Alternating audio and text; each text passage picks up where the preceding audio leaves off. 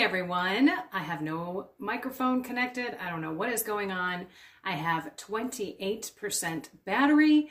I am trying to get this done before I fly out tomorrow to go to Texas. I'm going to San Angelo, Texas for a beautiful event. It is a women's conference and it's all about spiritual warfare. So I'm going to be talking two times one about me being clueless about the spiritual war and how I was participating with evil. And then my second talk is going to be about how finally God pulled me out of the pits of hell, gave me eyes to see, and the weapons to fight. But today, Saturday morning coffee with Kendra, which I do not have because it is Friday afternoon. I'm just trying to get things done. We're going to review a little bit about the foundations of discernment. So go ahead and watch the video that I did on that because you're going to need to make sure that you have these four things. Number one, you have to say yes to God. Like Mary, give that kind of fiat your whole entire life, your soul, your mind, your body. Number two, support everything with the sacraments of the Catholic Church. This is Jesus' church. He gave us the Eucharist. He gave us reconciliation. He gave us sacraments of baptism and, of course, marriage to support us on this journey. So take full advantage of those. Number three, we must pray. We must reflect. We must go inside our interior castle so that we can truly know God's voice, our voice, and Satan's voice. Number four, ascesis. Remember that funny word? Self denial or self giving. So, those four are nothing to mess around with. Those are the foundations of discernment. Now, today we're going to get into rule number one and rule number two.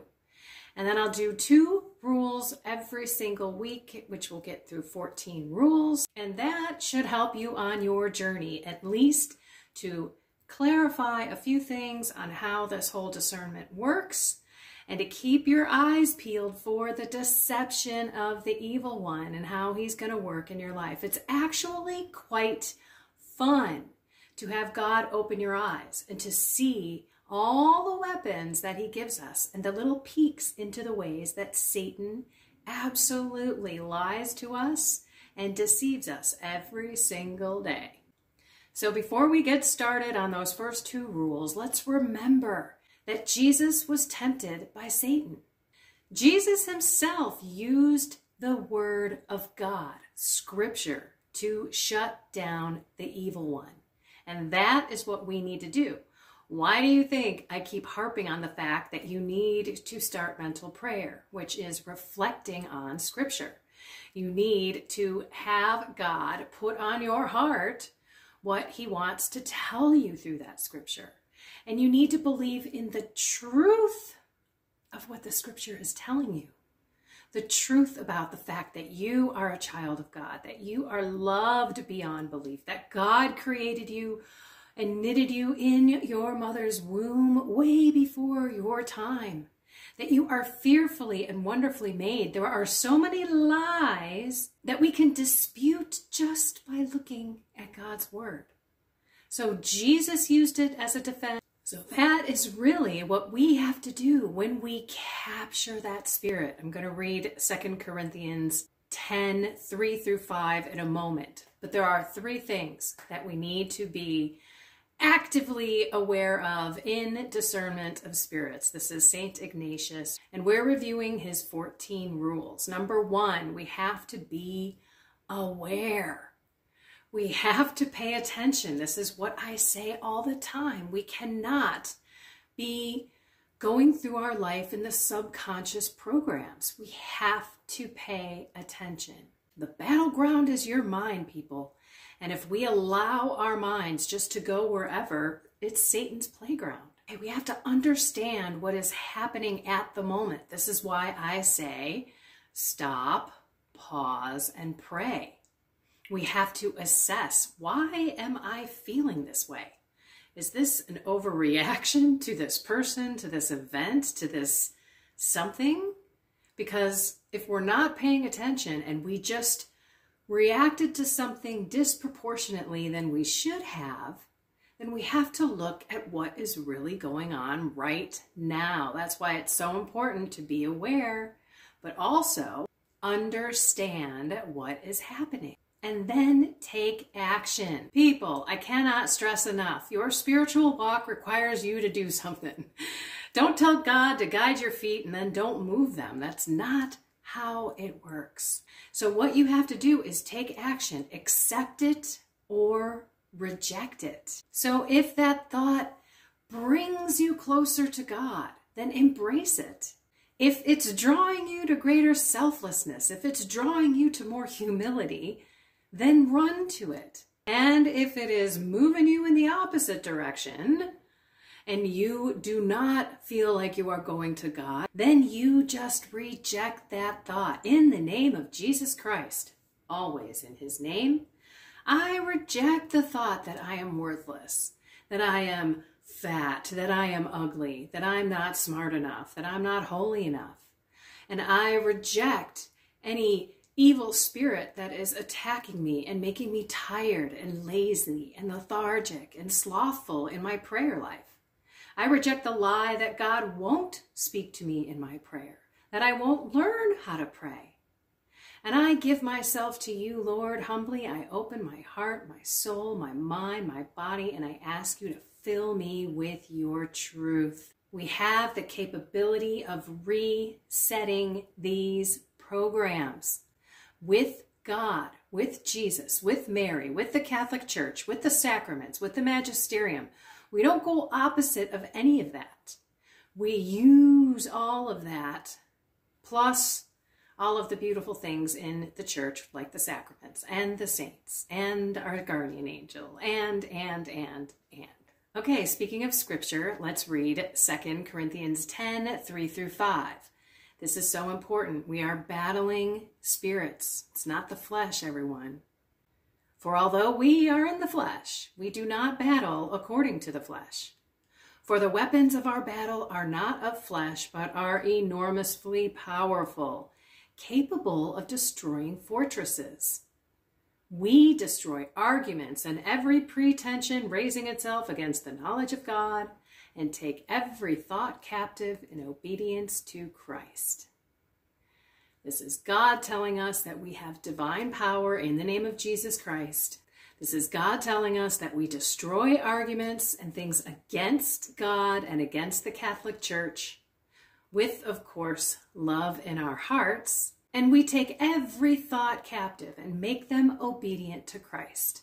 So when we have a thought that is not really pure, or it's a thought that might actually lead us to then that movement and that temptation, that near occasion of sin, we capture it and we make it obedient to Christ. No, I will not. I reject in the name of Jesus that thought, that temptation, that lack of temperance. That's what we need to do. And we can do that. That is the walk. That is mental prayer. That is reflecting on Scripture, and that is learning the voices in our life so that we can then move in the way that God wants us to move and not in the way that we, our selfish little selves, and Satan want us to move. And let's not forget that we can renew our minds every single day. That's Romans 12. And James 4 7. If we resist the devil, he will flee from us. And if we run to God, God will run toward us. Okay, bear with me. I'm going to read a couple of the rules, the first two. They're not in any order. They don't rely on one another. A lot of them go back to rule number six, which we will get there soon. But let's just start with rule number one and rule number two. Again, these are discernment of spirit rules by St. Ignatius of Loyola. First rule in the persons who go from mortal sin to mortal sin, the enemy is commonly used to propose to them apparent pleasures, making them imagine sensual delights and pleasures in order to hold them more and make them grow in their vices and sins. In these persons, the good spirit uses the opposite method, pricking them and biting their consciences through the process of reason. Do you remember when I told you that discernment of spirits isn't as simple as like saying, oh, I feel peaceful, so therefore it must be God? This is the very first rule. That does not necessarily mean that that is the case when you are in mortal sin. So you are running from pleasure to pleasure, and evil is able to conjure up that peace. God, on the other hand, is the one who is poking and prodding you and making you feel shameful. So let's say it's you having an adulterous affair. You are cheating on your spouse. You have these amazing feelings when you're with that person because it's all new and you have this exciting attraction and it's all secretive. But at the same time, you have guilt and shame. I hope at least. That's if God is pro- probing you. If you have no guilt and you have no shame, then we have a completely different situation. Then you are absolutely over here on the other side of the playing field where evil resides. But if you have both, okay, I'm doing this bad thing, but I feel bad about it, and you have some regret and you have some conscious poking, that is God. So you have the devil and the angel, right? You have the devil and God. That's kind of what we're talking about here. This is the first rule. So, mortal sin, you do not find peace in doing those activities and doing those actions. As a matter of fact, when you find peace, you can realize that that's Satan and his minions wanting to keep you in that sin so that you do not go toward God. That's his number one and only focus is to suck your soul down to hell. Okay, the second rule. This is for the person who's trying to be good. Maybe you just found God and you had an encounter. Maybe you just came back to the church and you're kind of learning the teachings, what this God thing is all about. The second rule in the persons who are going on intensely cleansing their sins and rising from good to better in the service of God our Lord it is the method contrary to that of the first rule. For then it is the way of the evil spirit to bite, sadden, and put up obstacles, disquieting with false reason that one may not go on. And it is proper to the good to give courage and strength, consolations, tears, inspirations, and quiet easing and pulling away all obstacles that one may go in well doing. Okay, so this is the opposite. If you're trying, if you're trying to be good and you're trying to live by the teachings and you're learning and you're being humble and you're going to confession and you're doing your best to create a relationship with God, then you are going to have encouragement and courage and consolations, and you're going to have feelings and emotions and things like that that are going to keep you coming back to God. Remember James 4 7 if you flee from the devil, the devil will flee. If you run toward God, God will run toward you. So let's use the same adultery situation. If you decide that you are going to focus on your marriage, you are going to have encouragement. You're going to have support. You're going to have God pushing you toward fixing and mending that marriage. And at the same time, you're probably going to have Satan out there and maybe part of yourself wanting that excitement, that secret, that lust, and everything that you think you're going to miss and never have in your current marriage, which is a bunch of bunk. Those are lies too. The evil one wants you to think that there's no way you're going to have an amazing marriage that's filled with wonderful intimacy through the marital act, but also through so much more. That is a lie, and we have to go again back to Scripture. But we won't for this particular situation. That's something that I want you all to do on your own. You can go do a search on Bible verses supporting marriage. And you can go find out what God says about marriage. Alrighty, everyone. I am going to go over to the Soul, Mind, and Body membership group. You can join right here below by clicking join. And I want to share with you guys a little bit about this talk that's coming up and the difference between participating in the spiritual battle and not participating in the spiritual battle and how huge it is in your life. So I'll see you over in the membership group. If not, I will see you back here next time.